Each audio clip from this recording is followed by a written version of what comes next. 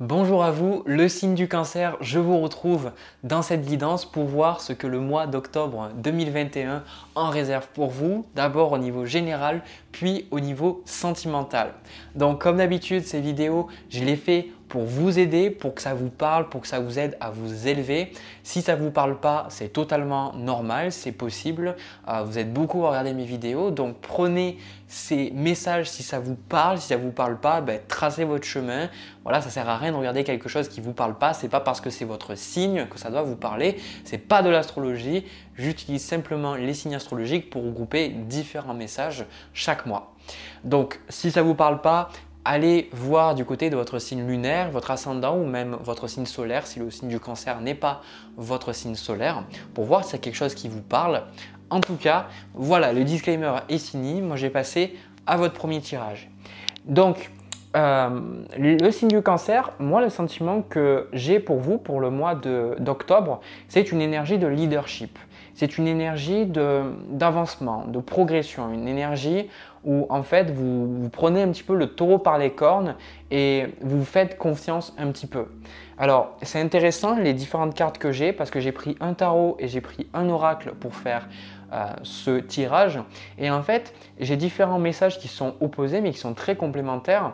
J'ai le sentiment que pour beaucoup d'entre vous, vous avez envie de trouver ce qui vous fait vibrer vous avez envie de trouver ce qui vous appelle, ce qui vous fait du bien et vraiment de trouver des opportunités en fait de faire des choses qui vous plaisent. Parce qu'en fait, ce que je vois ici, on a le 6 de denier avec la carte du désert. Donc ça peut être que pour certains d'entre vous, euh, soit vous n'avez pas de travail, soit vous avez un travail mais vous avez le sentiment qu'il y a un certain vide dans votre vie. Bien sûr, euh, le vide ne pourra pas être rempli par quoi que ce soit, le vide est toujours rempli par, euh, par vous, en fait, par votre propre présence, rien à l'extérieur pourra vous donner. Mais en fait, souvent le sentiment qu'on a quand euh, on sent qu'il y a quelque chose qui manque dans notre vie, c'est que intérieurement on n'a pas réalisé quelque chose. Et intérieurement, c'est parce qu'il y a des désirs, il y a des choses en nous que peut-être on ne voit pas ou qu'on ne concrétise pas, et du coup ça nous fait souffrir. Du coup, j'ai le sentiment, le 6 de denier, que en fait pour moi, le 6 de denier, je la vois comme ici la carte du service, comme le 6 de coupe aussi. Et pour vous, je ressens que vous avez envie de faire quelque chose qui vous qui vous passionne vraiment, de faire quelque chose qui a vraiment un impact sur le monde, quelque chose qui permette de faire bouger les choses, de faire changer les choses. Et le problème avec cette carte du désert, c'est que peut-être pour certains d'entre vous, vous n'avez pas encore trouvé. Ou alors vous dites mais j'ai rien. Ou alors euh, quelque part je passe à côté de ma vie. Bon, déjà vous passez jamais à côté de votre vie parce que ça c'est une croyance de l'ego, c'est une croyance que euh, pour réussir sa vie il faut faire ceci, cela, euh, faire une checklist, avoir de l'argent, avoir une telle voiture, avoir un boulot qui nous plaît. C'est pas ça. C'est vous passez pas à côté de votre vie. Votre vie, vous pouvez rien rater dans votre vie. Vous vivrez tout ce que vous avez à vivre, que vous le vouliez ou non. Et en fait, ce que je ressens, c'est que c'est super important pour vous de, retrouver peut-être un, sens dans votre vie, d'accord? Parce que ce que vous voulez, vous, on a le 9 de coupe avec la carte de l'énergie. J'ai sentiment, le 9 de coupe, c'est quelque chose qui nous plaît, quelque chose qui nous anime. C'est la carte des souhaits qui sont réalisés, le 9 de coupe. C'est cette carte en fait où on se sent épanoui. On se dit, ok, je fais quelque chose qui me plaît ou alors je vis la vie qui me convient, la vie qui me correspond. Je me sens en adéquation avec ce que je suis en train de vivre. Et en fait, ce que je ressens, c'est que quelque part, vous, vous, vous avez, peut-être certains d'entre vous, vous n'arrivez pas à trouver cette énergie comme là je le vois, vous n'arrivez pas à trouver cette énergie parce que vous avez la sensation que ce que vous faites, c'est pas ce que vous avez besoin de faire. Peut-être que vous travaillez, mais le travail que vous faites, vous dites mais, mais en fait, c'est pas ce que je suis appelé à faire. Intuitivement, vous pouvez ressentir qu'il y a quelque chose qui vous dit que c'est pas ça, c'est pas, vous n'êtes pas en alignement avec ce qui est juste pour vous. Et du coup, ben, vous ne trouvez pas l'énergie de faire les choses. Vous dites voilà, je pourrais faire ceci ou cela, mais vous ne trouvez pas cette énergie de passer à l'action, de faire les choses. Parce que vous cherchez toujours à vous dire, vous vous dites, voilà, je veux trouver quelque chose qui me parle vraiment, trouver quelque chose qui me fait vraiment vibrer et dans lequel je pourrais m'investir à 1000%. Et j'ai sentiment que pour vous, en fait, c'est le plus important en ce moment.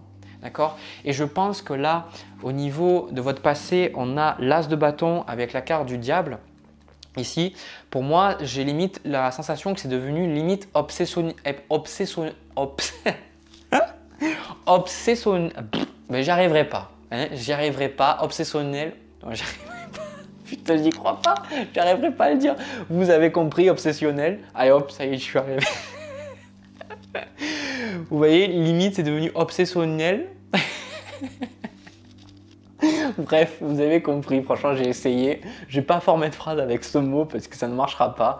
C'est devenu limite hum pour vous de trouver quelque chose qui vous parle, qui vous plaît, et cette idée de dire voilà, il faut que je trouve, il faut que je trouve ce qu'il faut que je fasse, etc. Ou il faut que je trouve quelque chose qui, qui dans laquelle bah, ça change le monde, ou ça fasse ce sentiment voilà que vous contribuez à l'humanité d'une manière ou d'une autre.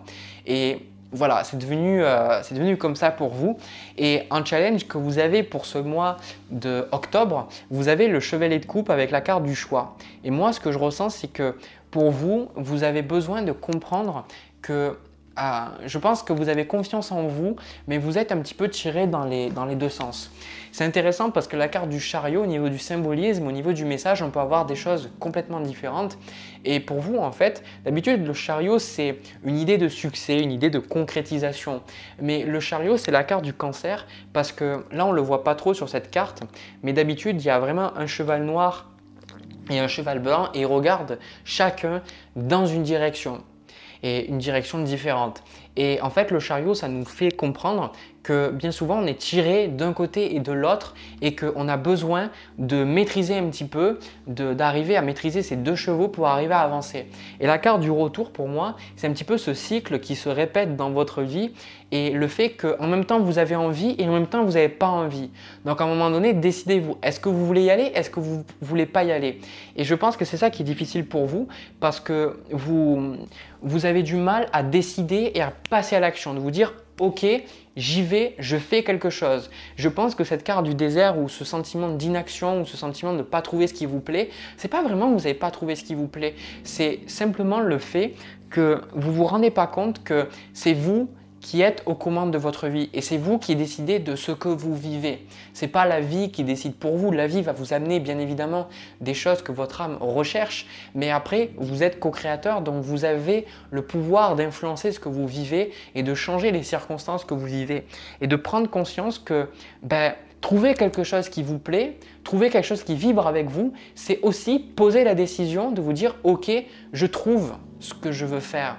De pas vous concentrer sur le problème et comme je le dis quasiment dans toutes mes vidéos et je le dis dans quasiment toutes mes consultations, comme Einstein l'a dit si bien, la solution à un problème ou le problème et la solution sont à deux niveaux de conscience différents. Ça veut dire que la solution est un niveau de conscience supérieur de là où le problème a a émergé, a été créé. Ce qui veut dire que si vous posez des questions en me disant mais je ne sais pas ce que je veux, c'est pas en ayant plus de pensées en me disant je sais pas ce que je veux que vous n'allez pas trouver, enfin que vous allez trouver justement, pardon c'est en fait d'agir dans cet univers parce que l'univers ne fait pas la différence entre ce que vous voulez et ce que vous ne voulez pas. Il réagit simplement à vos pensées, à ce que vous ressentez et il vous manifeste ce que vous avez. Et c'est notamment cette question de miroir qui vous permet, bah, quand vous rencontrez des personnes que vous aimez, c'est des choses que vous avez en vous et des personnes que vous n'aimez pas, c'est des choses que vous avez euh, aussi en vous. Mais ça, l'ego ne le voit pas, ne l'accepte pas. Hein. et, et c'est aussi ben voilà, de vous dire, ok, je me mets je, me rends compte que j'ai le choix. Je me rends compte que j'ai le choix de trouver quelque chose qui me plaît. Et que déjà, la première décision que je pose, c'est même si je ne sais pas, je sais que je vais trouver. Donc vous, à un moment donné, ce cheval de coupe, c'est toujours trouver le Saint Graal un petit peu. C'est trouver quelque chose qui nous, qui nous motive émotionnellement. Et les cancers, c'est super important pour vous. Parce que vous êtes un signe d'eau, et tant que vous n'avez pas trouvé quelque chose qui vous fait vibrer au niveau des émotions, que ce soit quelque chose de joie, quelque chose de triste, ou autre, il faut que ça vous crée des émotions en vous pour que vous ayez envie de vous investir dans ça. C'est pas juste, voilà, je pourrais avoir beaucoup d'argent, donc matériellement, donc j'y vais. Non, il faut qu'émotionnellement ça vous stimule. Donc, sachez que vous avez la possibilité de changer ce que vous vivez. Et d'ailleurs, on le voit très bien au niveau du conseil. On a le roi de bâton avec la carte de la science. On vous dit très bien, vous verrez avec les cartes suivantes ce, que vous allez, ce qui va se passer pour vous dans le mois. C'est en fait, vous êtes aux commandes de votre vie. La, la carte du roi de bâton vous invite à prendre les choses en main, de faire les choses par vous-même. Si justement, il n'y a pas d'entreprise qui fait exactement ce que vous voulez, s'il n'y a personne qui fait les choses comme vous, vous voudrez qu'elles soient faites, eh bien alors sortez-vous les doigts du cul et faites-le. Mais ne soyez pas dans une indécision à dire est-ce que j'y vais, est-ce que j'y vais pas? Posez la décision de dire je le fais. Ou si vous ne le faites pas, ne vous racontez pas d'excuses pourquoi vous ne le faites pas. De toute façon, en fait, dans la vie, c'est toujours deux états. Hein. C'est comme les ordinateurs, c'est comme, euh, c'est binaire en fait. Dans la vie, c'est soit vous êtes zéro, soit vous êtes 1-1. Ça veut dire que soit vous faites quelque chose, soit vous ne le faites pas. Vous pouvez vous raconter des excuses en vous disant je le fais pas, je ne le fais pas parce que ceci, cela. Ok, c'est compréhensible, il y a des résistances, il y a des choses qui nous font souffrir, on a des blessures à guérir, mais c'est aussi simple que ça la vie. J'y vais, j'y vais pas. Quelle décision vous faites le matin? Qu'est-ce que vous faites? Est-ce que vous décidez de regarder quelque chose qui vous fait plaisir ou est-ce que vous regardez la télé déprimante? C'est toujours des questions de choix. Ça, prenez-en conscience parce que tant que vous n'êtes pas en paix avec cette notion de choix, vous ne pourrez pas avancer. D'accord? Donc là, littéralement, le roi de bâton, c'est la carte de l'entrepreneur, la carte de la personne qui, qui décide de prendre en main sa destinée et qui décide en fait de trouver, avec cette carte de la science, de trouver les choses pour réussir son projet. Si vous avez un projet et si vous avez votre mental qui est calé sur le projet et qui sait ce qu'il veut et qui sait qu'il va réussir, Rien ne peut vous arrêter. Bien sûr, vous allez avoir des obstacles, des embûches, des choses qui vont vous ralentir, mais Rien ne vous arrêtera. D'accord? Donc ça, c'est super important pour vous de le comprendre. Après, euh, ce que je vois pour vous, au niveau du mois d'octobre, on a vraiment quelque chose de, très très bon, quelque chose de très motivant. On a le 5 de coupe avec la carte de la mort. Pour certains, je ressens que vous êtes en train de vous sortir. C'est pour ça qu'on a cette carte de retour avec cette carte du chariot aussi. C'est que en fait, vous êtes en train de sortir d'un cycle négatif, un cycle qui se répète. Alors, j'ai fait le signe du lion avant et j'ai eu un petit message un petit peu similaire, mais quoique euh, assez différent. J'ai sentiment que ce 5 de coupe, en fait, ça va être le fait que vous acceptez votre deuil. Vous faites le deuil de quelque chose. Alors, pour moi, ce que j'ai remarqué, les gens qui ont des placements en cancer, que ce soit lunaire, ascendant ou le soleil, c'est des personnes qui vivent dans le passé. Parce que, en fait, le cancer, c'est le signe qui nous parle de notre famille, qui nous parle de nos racines, de là où on vient. C'est celui qui nous parle de l'importance de la famille. Hein, chaque signe astrologique a une leçon à nous donner. Et c'est quand on s'inspire des signes qui nous sont, différents, qui sont peut-être opposés à nous, qu'on peut avancer. Et en fait, le cancer, moi j'ai remarqué qu'il y a une tendance à vivre dans le passé, à toujours vivre. C'est l'ego, le mental de base va aller dans le passé, dans le futur. Mais le, cancer, encore plus que les autres, euh, est un petit peu mélancolique, a tendance à revenir à s'en vouloir ou à regarder un petit peu avec, euh, avec nostalgie. Mais là j'ai le sentiment que vous acceptez, vous dites ok, je sais que de toute façon, rien de ce qu'il y a dans le passé ne me servira, donc vous acceptez. J'ai le sentiment que vous faites le deuil de quelque chose. Comme on le voit avec la carte du désert ici, vous acceptez que quelque chose ne soit plus dans votre vie. Et vous l'acceptez, vous l'intégrez. Et j'ai sentiment, j'ai pas la carte de la force, mais j'ai sentiment que ça vous permet de, de pouvoir créer à nouveau. On a cette carte du magicien avec cette reine de coupe et cette carte de la papesse ici. Donc vraiment des cartes très très intuitives.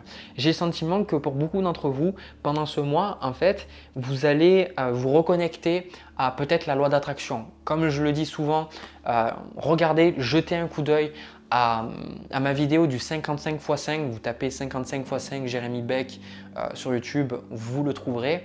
C'est une méthode qui est super bien parce que ça vous permet de vous concentrer sur ce que vous voulez, non pas sur ce que vous voulez pas, et de créer un mouvement positif. Et du coup, le magicien, c'est un peu ça, c'est de prendre conscience. Je pense que vous allez prendre conscience que vous êtes le maître de votre destinée, vous allez prendre conscience que vous pouvez plus, euh, vous n'allez pas vous tourner en victime littéralement. Hein.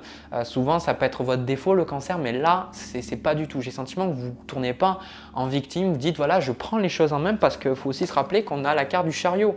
Et le chariot, c'est que ce soit difficile ou que ce soit facile, je m'en fous, je vais mettre toutes les chances de mon côté et je sais que mes faiblesses sont aussi une force. Donc vous allez avancer pour moi. Et surtout, je sens que euh, pour beaucoup d'entre vous, ça va être le fait d'écouter votre intuition.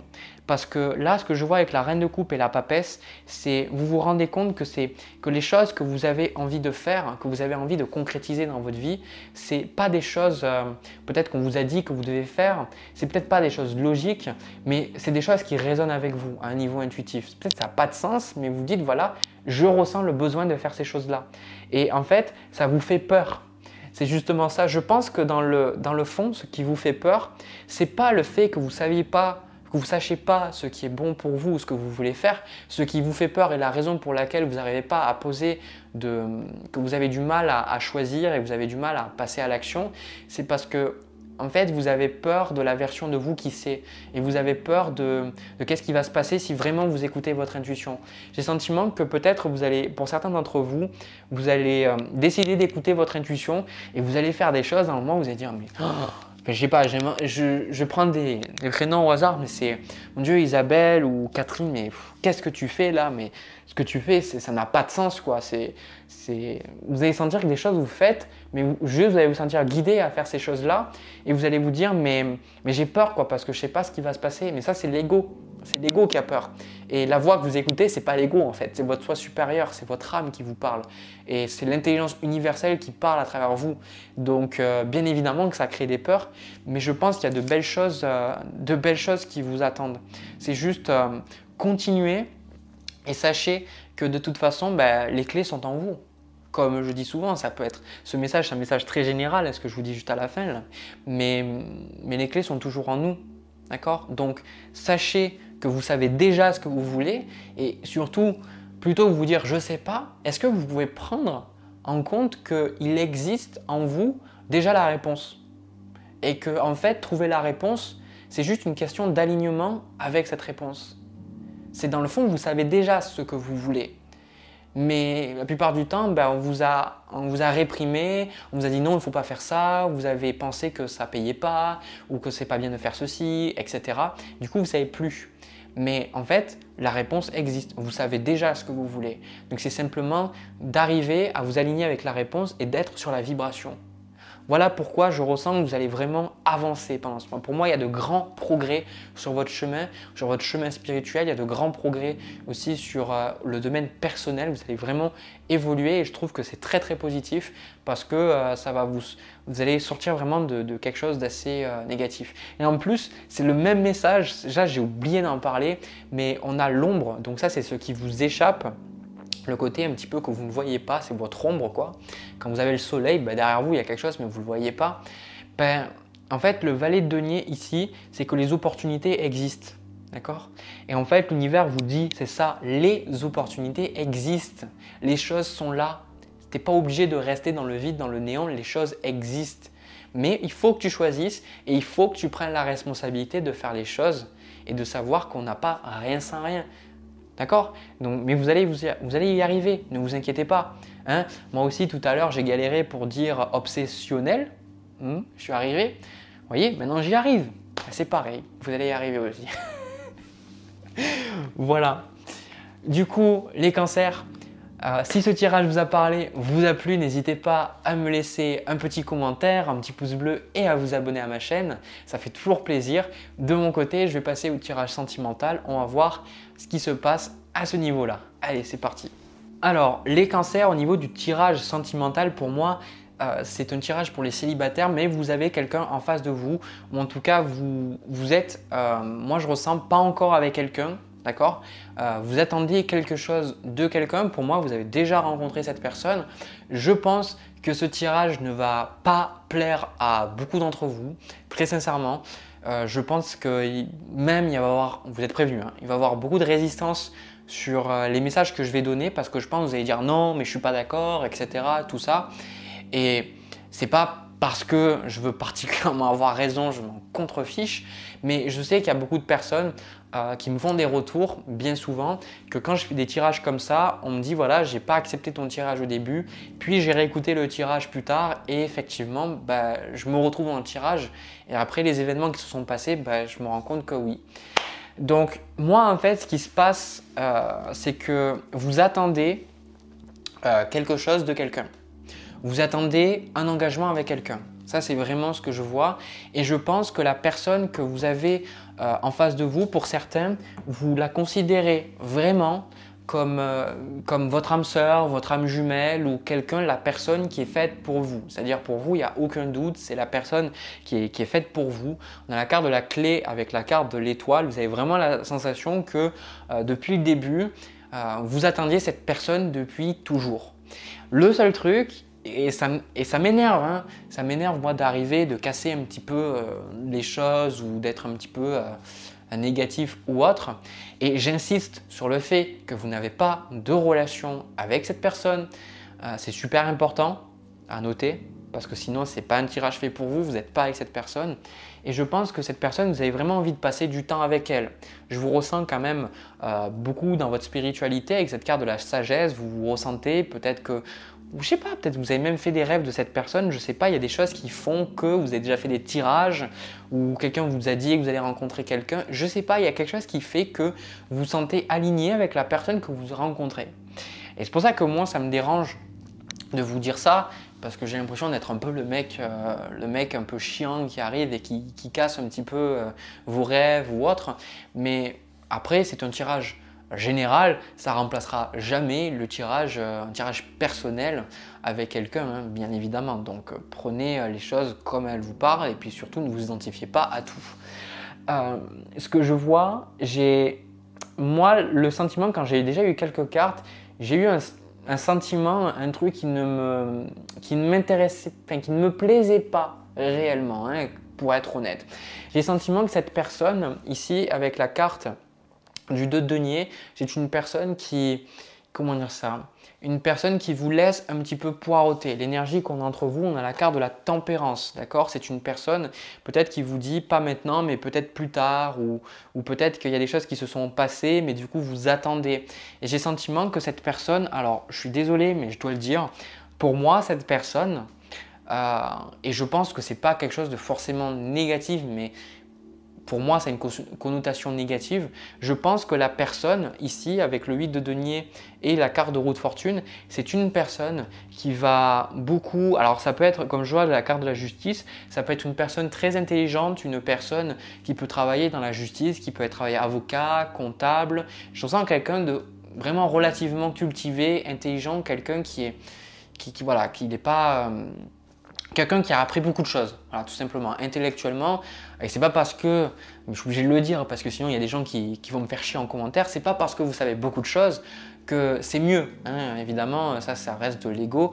Euh, mais juste pour vous dire voilà, que c'est une personne, euh, je ressens peut-être un entrepreneur ou une personne qui, voilà, qui fait des choses, qui passe à l'action. Je ressens quand même quelqu'un d'intelligent. Hein. En fait, je pense que cette personne, la connotation négative que je ressens, c'est que elle, fait ses plans et elle fera toujours ses plans par rapport à elle. Pour ça, ça c'est pas négatif, c'est quelque chose que je vous invite à faire même pour vous, mais c'est il y a de la manipulation dedans. D'accord? Il y a de la manipulation. Et en fait, moi déjà, euh, en quart de conseil, j'ai eu le 7 d'épée. Déjà, ça a confirmé mon ressenti euh, qui n'était pas forcément très positif. Et dessus, j'ai eu la carte du sacrifice ok? Euh, J'ai eu la carte du sacrifice. Donc, j'ai sentiment que, c'est pour ça que je vous dis que vous ne voulez pas l'entendre, en bas de paquet, j'ai la carte euh, du mensonge ici, là j'ai sentiment qu'il y a des choses qui ne sont pas claires. Je ne ressens pas cette énergie du 7 d'épée euh, comme ça peut souvent être le cas où la personne est vraiment malhonnête envers vous, elle ne vous dit pas les choses et elle vous trompe ou autre. J'ai plus l'impression que le 7 d'épée, c'est que la personne en fait, elle va jamais mettre euh, votre bien-être ou le fait de vivre quelque chose avec vous en priorité. Ça va toujours être une personne qui va passer son nombril avant. Clairement, c'est une personne, vous, vous l'avez rencontré, cette personne, vous dites voilà, bon, on s'est amusé, on a passé des bons moments et tout, et vous avez envie de la revoir, vous avez envie, vous attendez cette opportunité d'avoir une relation plus sérieuse avec elle, mais chaque fois, peut-être, elle vous dit je peux pas, j'ai le travail, ou j'ai ceci, ou j'ai cela, ou vous avez du temps avec elle, mais c'est très restreint, ou, à chaque fois, elle vous fait attendre, ou vous fait Et, j'ai sentiment que, en fait, vous avez besoin de comprendre que vous n'êtes pas une priorité pour elle. Vous n'êtes pas une priorité pour cette personne. Et ça, je pense que il y a plein de personnes, bon voilà, vous allez, vous n'avez pas regardé cette vidéo jusqu'au bout à partir que je vous ai dit ça, peut-être mais non, mais c'est pas vrai, et vous allez lui donner des excuses, vous allez dire ben voilà, il fait ceci, il fait cela, etc. Et c'est pour ça que j'ai le conseil du 7 d'épée, c'est vous en fait qui faites ça, ce 7 d'épée. C'est-à-dire que vous allez justifier des choses pour éviter de voir la vérité. Le 7 d'épée, c'est toujours quand on essaye de masquer quelque chose, on essaye de ne pas voir quelque chose. Mais dans le fond, vous pouvez le voir. Mais je pense que vous n'êtes peut-être pas prête ou prêt à entendre ces choses-là. Et surtout, avec cette carte du sacrifice, vous vous rendez compte, vous vous rendrez compte que ben, continuer d'attendre, d'espérer quelque chose de cette relation, vous allez vous rendre compte qu'en fait, vous vous êtes sacrifié depuis le début, que vous avez fait des choses pour la personne, mais que l'autre n'a fait jamais ces choses-là pour vous. Alors c'est important J'en discutais avec un ami justement euh, aujourd'hui. Quand vous faites quelque chose pour quelqu'un, n'attendez rien en retour, sinon c'est toujours conditionnel ce que vous faites. Mais cette carte de sacrifice, c'est que pour qu'une relation vous soyez épanoui dedans, c'est important que ça soit 50-50.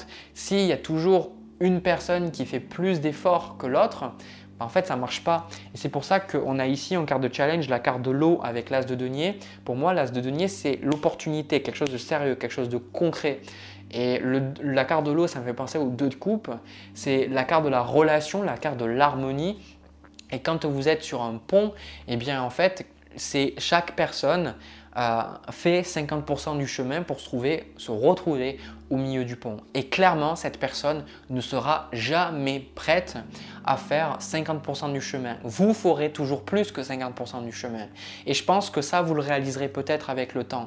Vous le réaliserez, vous le verrez peut-être. Donc euh, voilà, moi c'est ce que je vois. Hein. Alors après, pour moi, peut-être que ça va vous demander du temps. Peut-être que ça va vous demander du temps pour vous en rendre compte. Alors je dis pas, je veux pas euh, forcément euh, gâcher tout ou autre, mais je pense que cette personne, c'est plus une personne qui, vous qui va vous apporter au niveau personnel, peut-être une personne qui va vous apporter, on a le roi de bâton, la justice, le valet de bâton. En fait, moi, je suis d'accord avec peut-être les tirages que vous avez vus ou alors les tirages qu'on vous a fait, que le fait d'être avec cette personne ou de parler avec cette personne, je ressens que c'est juste. Je ressens que c'est aligné avec votre cheminement d'âme. Il n'y a pas d'erreur, justement. Je pense que c'est une personne que vous étiez amené à rencontrer et je pense que cette personne, elle va vous amener beaucoup de choses. Mais elle ne vous amènera pas la relation sentimentale. Et ça, je pense que c'est le plus difficile pour vous. En fait, euh, elle va vous apporter peut-être des éléments de réponse sur votre... Euh, peut-être sur votre, euh, sur, euh, sur, votre développement personnel, spirituel, le fait de peut-être comprendre pourquoi vous vivez certaines choses, etc. Encore une fois, je ressens quelqu'un de très intelligent.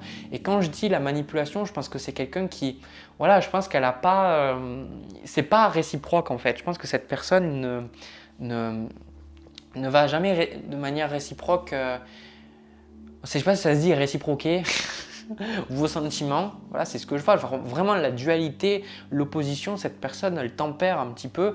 Et en fait, je ressens que on a cet isolement ici. J'avais tout à l'heure euh, dans mes cartes, alors je crois que je l'ai ici, on a au niveau du bas de paquet du tarot, on a le 4 d'épée qui parle aussi d'isolement. Et je pense que vous réaliserez que cette personne, bah, vous aurez beau attendre, en fait, eh bien, il se passera rien. D'accord?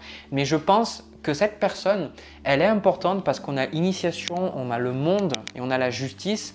Je pense que cette personne, elle, est très importante pour votre développement personnel. Et ça, je pense que c'est quelque chose, vous ne vous trompez pas. Je pense que il y a eu comme, euh, comme peut-être une, une, mauvaise interprétation. Peut-être que vous dites, voilà, euh, vous avez mis du sentimental, vous avez mis des sentiments. Parce qu'effectivement, cette personne, c'est une âme sœur. Moi, j'ai le sentiment que c'est une âme sœur, c'est une personne euh, qui, est, qui, est, faite pour être dans votre vie. Mais, mais ce n'est pas une âme sœur sentimentale, c'est pas quelqu'un avec qui vous allez partager vous allez partager quelque chose de concret, d'accord? Ou même si jamais vous vous couchez ensemble, ça ira jamais plus loin que ça. Il n'y aura jamais de relation stable. Et je pense que c'est difficile pour moi de dire ces choses-là. Mais, et c'est bizarre pour moi en plus de dire ces choses-là parce que j'ai la carte du monde. Mais c'est juste mon sentiment, c'est juste mon ressenti. Je pense que cette personne, euh, ça, va rester comme ça. Hein. Donc, allez, je vais prendre quelques cartes de plus. On va voir.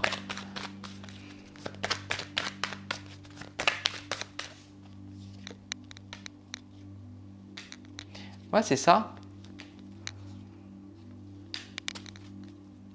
C'est ça, et c'est ça en fait, c'est ça que franchement, je ressens cette énergie, je comprends pourquoi. Même moi, si j'étais, euh, si j'avais pas mon ressenti, je vous dirais, bah oui, cette personne, vous allez être avec elle, etc. Tout ça, parce qu'on a le roi de denier, on a le 3 de denier. Ça peut être une personne que vous avez rencontrée au travail, une personne qui vous aide, comme je vous dis, sur votre travail. Ça peut être même votre psy, votre thérapeute. Je, ne sais pas, j'ai pas la carte du pape, mais c'est une personne qui a une certaine, une certaine puissance ou qui a une certaine euh, qui a un certain pouvoir peut-être, euh, que ce soit moral ou, physique, d'accord euh, des, avantages qui sont conférés peut-être, je sais pas moi, euh, quand on est chef d'entreprise par exemple, ou quand on a une certaine position dans une entreprise. Mais je pense que cette personne, elle est là vraiment pour vous aider à avancer. J'ai le sentiment que cette personne, elle est vitale à votre avancement, mais, mais vous n'aurez pas de relation sentimentale. Parce que vous vous rendrez compte que c'est, je sais pas, vous vivez c'est peut-être vous vivez dans votre rêve et vous essayez de voir des choses qui ne sont pas là.